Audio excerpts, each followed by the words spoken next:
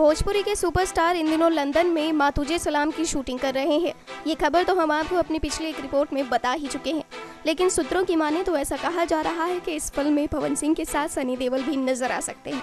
इससे पहले पवन सिंह ने सनी देवल की फ़िल्म गदर को भोजपुरी वर्जन में किया था, जो सुपरहिट भी रही थी। इसके बाद ये खबर भी आई कि पवन सिंह दोबारा से फ़िल्म गदर टू की शूटिंग कर रहे हैं। इसी बीच ये खबर भी आ गई है कि अब पवन सिंह के साथ माँ तुझे सलाम में भी सनी देवल नज़र आने वाले हैं। वैसे अभी अभी इस फ़िल्म की शूटिंग शुरू हुई है तो ये कहना बड़ा मुश्किल होगा कि ये खबर सच्ची है, क्योंकि कई बार शूटिंग के बीच से स्टार कास्ट बदल जाते हैं। खैर, भोजपुरी दर्शकों को तो फ़िल्म में पवन दिखने चाहिए, क्योंकि बिहार में सनी से ज़्यादा पवन सिंह की मांग है। लोग हर फ़िल्म में, हर गाने में पवन को देखना पसंद करते हैं। वेल फ़िल्म देखने के बाद या शूटिंग के बाद ही पता चलेगा कि इस फ़िल्म में कितने लोग हैं और कौन कौन से स्टार हैं। नेक्स्ट नाइन न्यूज़ रूम से ममता की रिपोर्ट